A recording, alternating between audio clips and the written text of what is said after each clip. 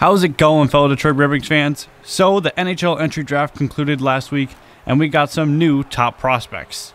The best of the Red Wings draft class being Simon Edvinsson, taken 6th overall. And now, I will admit, of the top NHL prospects of the 2021 NHL draft, we have covered Edvinsson the least. We talked a little bit about him in the top 5 draft prospects for the Detroit Red Wings video, where he was rated as the third best prospect behind Eklund and Wallstedt, who ironically were still both available and the Red Wings didn't select. Anyways, on to Edvinsson.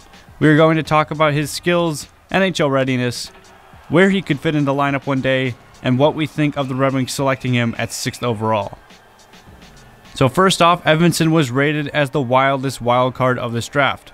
The kid is oozing with potential, not even to mention his towering height and 6'5", 207 pound frame, but he unfortunately is inconsistent on the ice, or else he likely would have been taken in the top 5, if not then the top 3.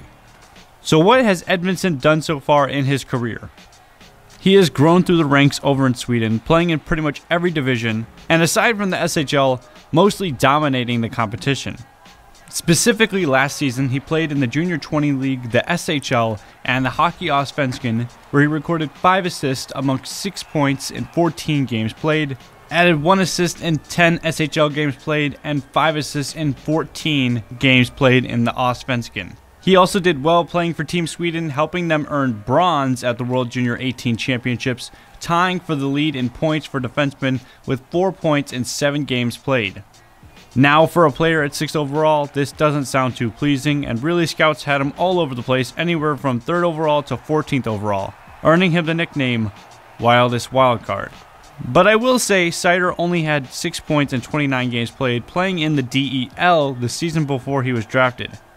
And I've said it before, probably will say it again, this pick gives off Moritz Seider vibes, so I wouldn't be too worried about his point totals in the big leagues right now. So for his skills, Edvinsson owns an elite skating ability.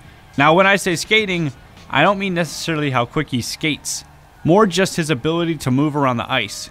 He carves his way through a congested neutral zone like a hot knife through butter.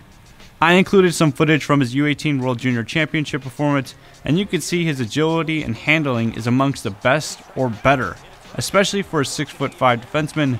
Don't get me wrong, Edvinsson has good enough speed. It won't blow you away, but he can definitely pinch in and still get back to help out his defensive partner. His shot is okay. Most people say it needs work, and truthfully, it does, to truly become deadly. The only thing I will say, maybe as more of a counter argument, is it seems that Edvinsson is always looking for a play.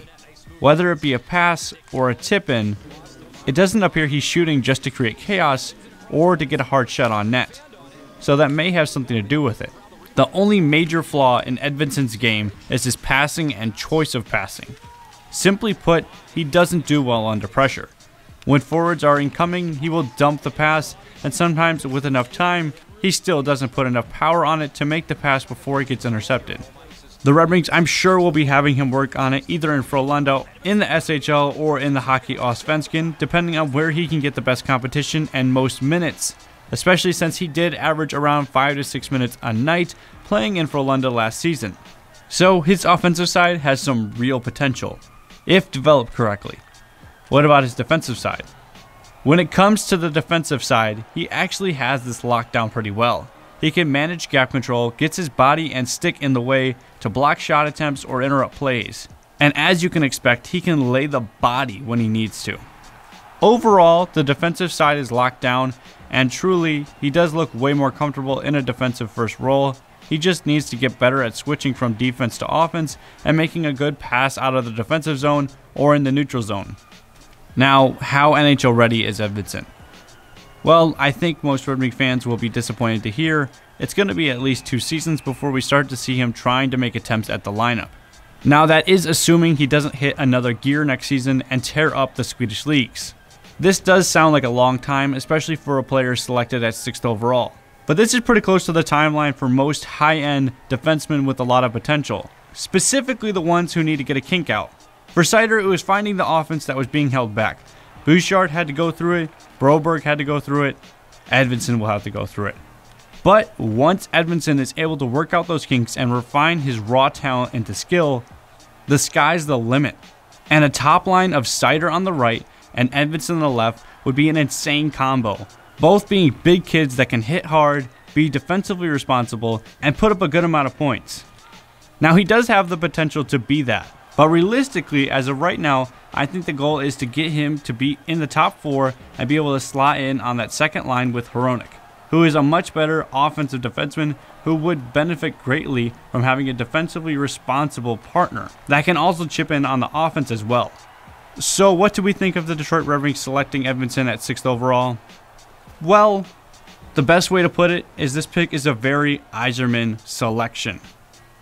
Yzerman likes to go off the boards in the draft. He wants to get the players he deems the best, whether people think that or not, and trusts his own judgment more than others. And given how his usual drafts pan out, it's for good reason too. Would we have drafted someone else had we been selecting for the Detroit Red Wings? Yeah, most likely, especially given William Eklund was still on the board. But let's face it, we definitely aren't Steve Yzerman. Let us know down below your thoughts of Simon Edvinsson. What do you think of the free agency signings that are going around right now? Please comment down below. Red Wing Nation was designed to be a community of Red Wings fans that can come together and talk about all things Red Wings. If you like this video, go ahead and hit that like button. That way we make more content that you like. And lastly, hit that subscribe button. That way you can be notified when we upload a video. And until next time, lights on the red light district.